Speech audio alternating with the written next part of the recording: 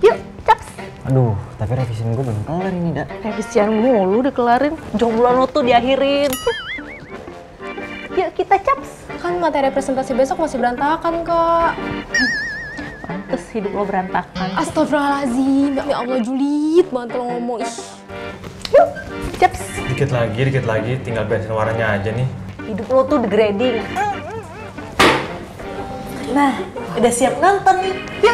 Gue tiba-tiba diajakin meeting sama klien. Meeting mulu jadi CEO juga kagak. Gue bukan jadi CEO, tapi nyari CEO.